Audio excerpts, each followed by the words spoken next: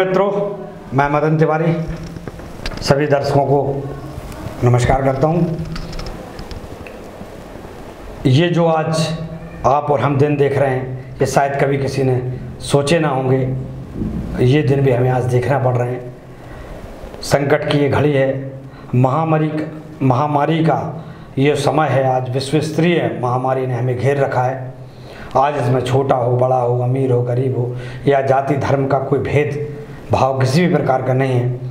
ये जो कोरोना संक्रमण है, ये सबके लिए घातक है। देश के लिए घातक है, छोटे से छोटे परिवार के लिए घातक है।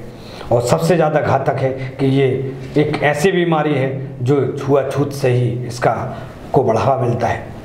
हम लगातार देख रहे हैं, प्रशासन तंत्र, शासन तंत्र, मीडिया तंत्र के कर्मी, स्वास्थ्य विभाग का पूरा अमला समर्पण भाव से लगा हुआ है।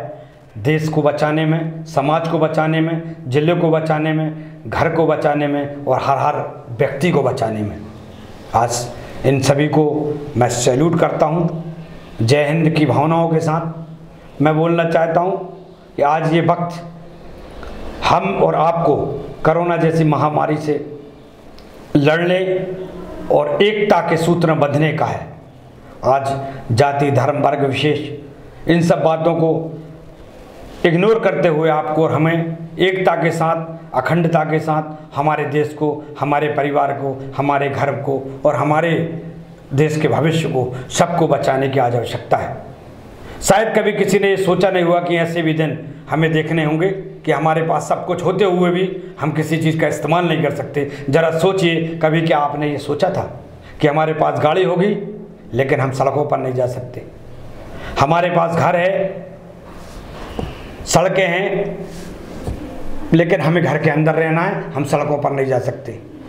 हमारे पास सारी व्यवस्थाएँ हैं, जो हमने संचित कर रखी हैं, लेकिन हम उनका इस्तेमाल नहीं कर सकते। जो भी इस्तेमाल कर सकते, हम सिर्फ़ अपने घर के अंदर इस्तेमाल कर सकते हैं।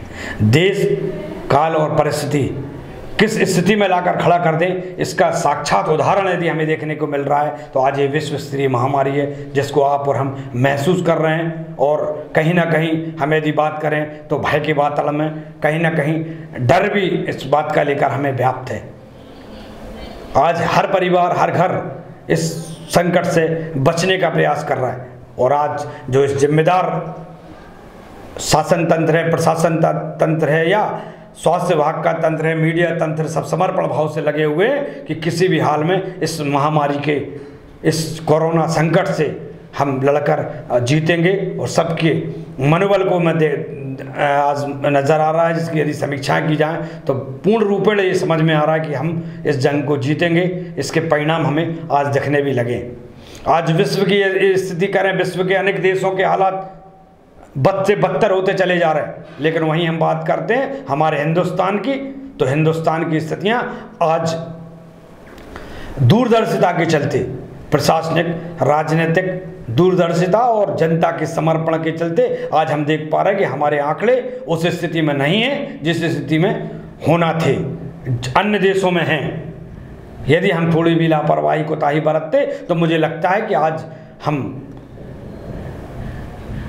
का हर परिवार कहीं ना कहीं किसी न किसी चीज़ को लेकर दुखित होता है, लेकिन आज हम सिर्फ़ हमारे बीच में भय व्याप्त और मुझे लगता है भय बिन हो ना प्रीत, भय होना भी चाहिए। परिस्थितियाँ ऐसी बनी हुई हैं। आप स्वयं विचार करिए, कभी ये वक्त था कि हमें पॉजिटिव अच्छा लगता था, लेकिन 2020 में आज हमें पॉजिटिव सुनकर ही हमारे रोंगटे खड़े हो जाते हैं, दिल दहल जाता है। हम हर समय सोचते थे कि पॉजिटिव सोच पॉजिटिव, विचारधारा पॉजिटिव वर्क की परंपराएँ चला करती थी। 2019 को हम कह सकते हैं। लेकिन 2020 में आज हमें पॉजिटिव शब्द ही दहशत भरा शब्द लगने लगा है। हमें लगता है कि यार नेगेटिव परिणाम आए नेगेटिव परिणाम आए। आज मीडिया की प्रोफ़ाइल आप देख पा रहे हैं। लगातार प्रोफ़ाइल में लिखा जाता है ज़ीरो ज़ीरो ज़ीरो। नेगेटिव की ओर हमें बढ़ना पड़ रहा है। ये समय, देश काल और वर्तमान की परिस्थितियाँ हैं। तो ईश्वर की मार है, कहीं ना कहीं आज ये पूरे विश्व में है, पूरी यदि हम बात करते हैं तो मृत्यु लोक में है तो आज आपको और हमको संभल के ज़रूर चलने की आवश्यकता है और ईश्वर आराधना से बड़ा कोई शक्त है नहीं।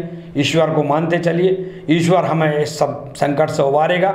आपको और हमको सबको मिल के चलना है।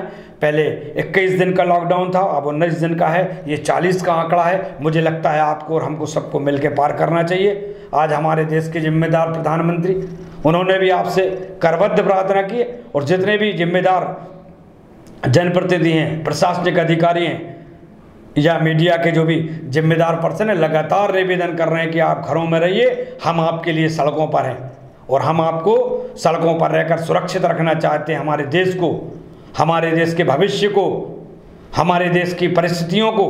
आज बस आपको साथ देना है कि आपको अपने घर के अंदर रहना है। हम आपको पल पल की अपडेट देने का प्रयास कर रहे हैं। आप भी देख रहे हैं आज सारा मीडिया मीडिया तंत्र देश का। पल पल की रिपोर्टिंग करके आपको निवेदन के साथ वस्तु स्थिति से अवगत करा रहा है, क्योंकि हमारा कर्तव्य है, हमारी ज़िम्मेदारी है।